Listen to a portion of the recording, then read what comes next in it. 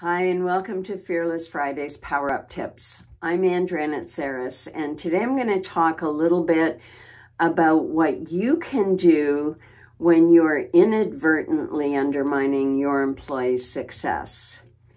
You know, being permissive as a leader is something that creeps up on us. It's not that we really set out to be permissive, but along the way, we can be told that we're excessively direct in our communication, that we have to take into account how our employees are feeling and really take care not to um, either micromanage, overpower, overwhelm, or do anything that might be considered to be um, overbearing or autocratic as a leader.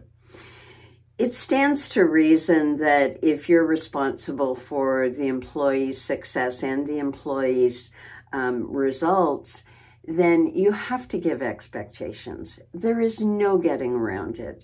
You have to teach an employee how to do their job by giving them instructions. And when leaders abdicate responsibility for this very important, very critical piece of leading, they set themselves, their employees, and the organization up for dysfunction. Uh, an employee can't shoot for a goal if they haven't been told this is the goal and here's how to get there.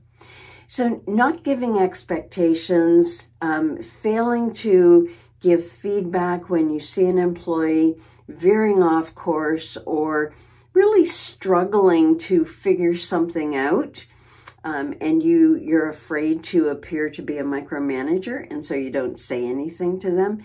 These are all ways that we fail to be there to be that safety net that the employee needs when they are in the the uh, employee development process.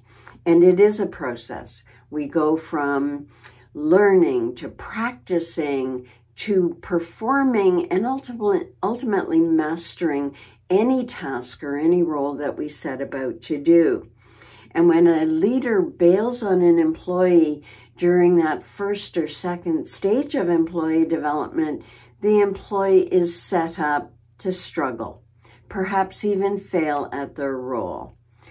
If you're too friendly and you care excessively about whether or not your employee likes you or not, it's another thing that will get in the way of focusing on the task before you establish more of those relationship bonds that you need with the employee.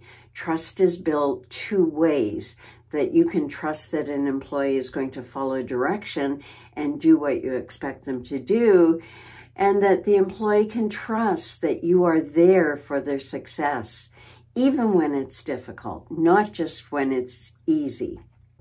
There's a great deal of potential financial business and employee costs when you as a leader don't step in and give expectations to an employee or manage and correct their performance when you see them going off track.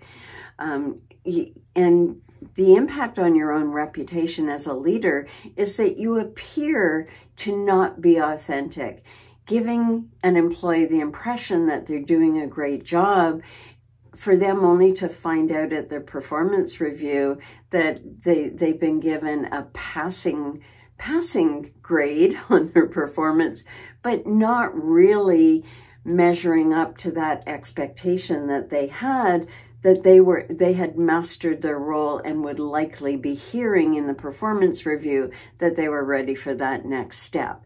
That undermines your credibility as a leader.